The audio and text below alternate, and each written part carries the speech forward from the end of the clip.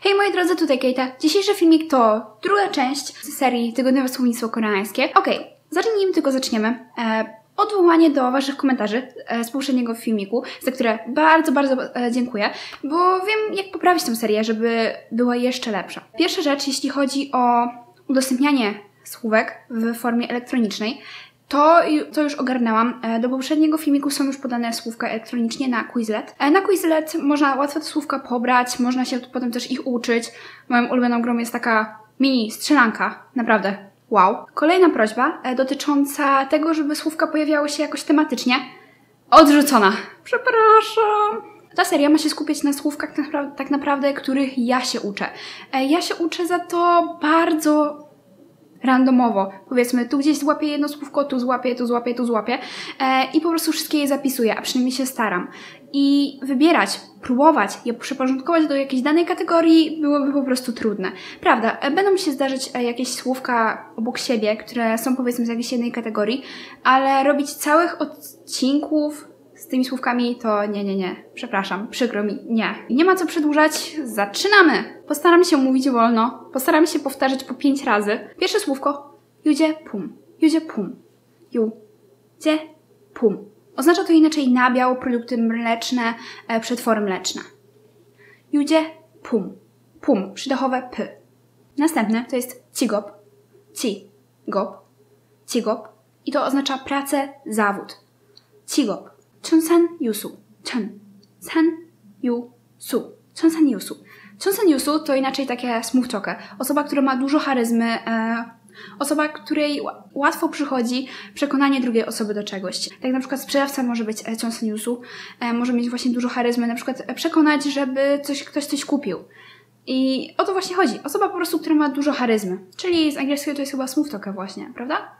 E, słówko pan, pan oznacza noc.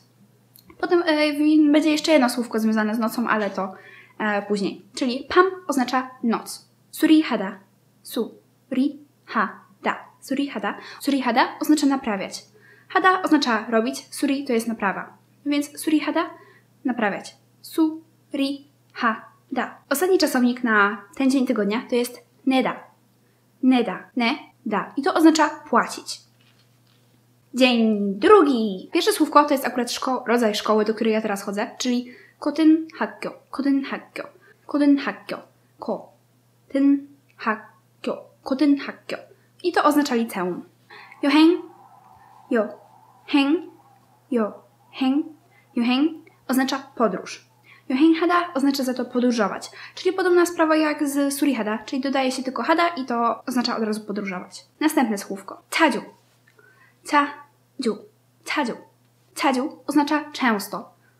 Trochę też się mówię ze słówkiem adziu, e, ale adziu oznacza bardzo. Cadziu oznacza często. Kolejne, to jest właśnie to słówko, co wiąże się też z, ze słówkiem pam, czyli to jest ociet pam, ociet pam, o, dziet pam, ociet pam. E, I to oznacza zeszłej nocy, last night z mm, angielskiego. Ok, czyli ociet pam oznacza zeszłej nocy. Potem mamy czasownik syda, syda. E, I to oznacza pisać bądź też używać. Są dwa znaczenia. Syda. Kolejne to jest menion. Menion. Me to jest yy, taka powiedzmy cząstka, która często oznacza, że co jakiś odstęp czasu, tak? Kolejne słówko, które tak w ogóle będzie, to już trochę zaspoileruję, to jest mail. Mail oznacza codziennie. Me właśnie to jest ta sama cząstka, il oznacza dzień. A, a tym, co przed chwilą powiedziałam, czyli menion, e, nion to jest rok, czyli menion co roku, e, mail codziennie. To jest akurat teraz właśnie taki wyjątek, jeśli chodzi o to, um, żebym pisała tematycznie, czyli cztery pory roku. Czyli tak, ogólnie zaczyna się, jest pierwsza pora roku, którą napisałam, to jest wiosna. I to jest akurat po koreańsku pom. Pom. Potem ja mamy lato, to jest jorym. Jorym. Jorym. Potem mamy jesień, to jest kael. Kael. Potem jest moja ulubiona pora roku, czyli zima i to jest kyoul. Mówiąc szczerze, mi się zawsze Kael myli, myliło z Kioul.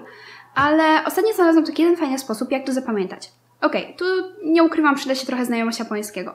Więc tak, skoro moją ulubioną porą roku jest zima, e, to wziąłem pierwszą tak naprawdę, pierwszą sylabę ze słówka kyoul i po japońsku to oznacza dzisiaj. A więc wyobraziłam sobie, że moje marzenie spełniłoby się, gdyby dzisiaj była zima. No bo wiadomo, zimno by było, nie byłoby upału i tego typu sprawy. A więc kyoul to jest zima. No, może trochę pokręcona logika, ale mam nadzieję, że rozumiecie o co mi chodzi z tymi skojarzeniami. Czyli tak, mamy pom, jorym, kaol oraz kyoul. Kolejne słówko to jest właśnie to, co wcześniej wspomniałam, czyli mail. Mail, czyli co to oznacza codziennie, oraz o. O. No, ten ostatni dźwięk nie jest słyszalny, ale to jest raczej i tak od. Od. Od. Oznacza ubrania. Jak pokazuję ten, to akurat słówko moim znajomym, to zawsze twierdzą, że to jest tak naprawdę ludzik. No, i się im nie dziwię. Ale to inna kwestia. Kolejny dzień to jest czwartek e, i zaczyna się to od słówka kadziok. Kadzio. Kadzio. E, to oznacza rodzina. Potem mamy kori. Ko. Ri. Kori. E, I to oznacza odległość. Kori. Krótkie o. Ri. Kori. Kolejne słówko to jest tak naprawdę zwierzę, które ja również mam w domu, e, oprócz pieska, ale niestety nie mam jego zdjęcia, o dziwo, więc Wam nie pokażę. A na szybko też się nie dało zrobić, bo przed aparatem zawsze ucieka. Kojani to jest kotek, kot, kojani, kot. Tak naprawdę to brzmi jakbym wymawiała dwa kolejne e, słówka koreańskie obok siebie, bo jest słówko, które wymawia się kot. No i teraz właśnie to słówko, samo słówko kot e, w języku koreańskim oznacza miejsce. Kolejne słówko to jest konwon. Konwon. Konwon. Konwon oznacza park. Nie wiem czemu przypomniał mi się teraz park z Simsów, ale powiedzmy, że to inna kwestia. Dzień kolejny. Pierwsze słówko to jest konczek. Konczek. Konczek, konczek oznacza zeszyt. Kudu. Kudu są to natomiast buty wizytowe, takie buty niedzielne, można by powiedzieć. Po prostu eleganckie buty. Bo takie buty normalne to jest sinbal. Sinbal. Następne słówko to jest acim. Acim. Acim. Acim oznacza poranek, ranek. Tak ogólnie. Ok, kolejna rzecz to jest to. Podejrzewam, że widzicie, ale to jest po prostu chodzi, że to jest dłoń, tak? Czyli sun. Sun. Sun. To jest ręka. Znaczy dłoń, nie ręka, bo to różnica. Dłoń. Następne to jest taryda. Ta, ry, da. Taryda. I to oznacza różnić się, być innym. Ostatnie na dzisiaj to jest senka kada. Senka kada. Dobrze słyszycie jakby co, że tam jest przydochowe k, senka kada. To jest akurat z, przez jedną z zasad wymowy. Senka kada to jest inaczej myśleć. Kolejne słówko to jest tamio. Tamio oznacza koc. Kocyk, coś czym się przykrywa, kiedy jest zimno. Kolejne to jest halmoni. Halmoni. Halmoni. Halmoni. Halmoni oznacza babcia. Babcia. Halmoni. I sa ha da. Isahada oznacza przeprowadzać się, na przykład z jednego domu do drugiego. Następne to jest kapciagi. Kapciagi. Kapciagi. Kapciagi. Kapciagi oznacza nagle, z angielskiego suddenly. Czyli kapciagi oznacza nagle. Taki powiedzmy zwrot akcji. Powiedzmy, że idę, idę sobie drogą, ale nagle widzę mojego ulubionego youtubera. Przepraszam, przed chwilą go oglądałam, więc tak, no. Kapciagi e, oznacza nagle. Potem mamy kawi. Kawi. Kawi. To oznacza nożyczki. Następne to jest cioni. Cioni. Cioni. Cioni. I to oznacza papier. Papier, jak na przykład kartka. Coś w tym stylu. I ostatni dzień na dzisiaj to jest sują. Sują. Sują.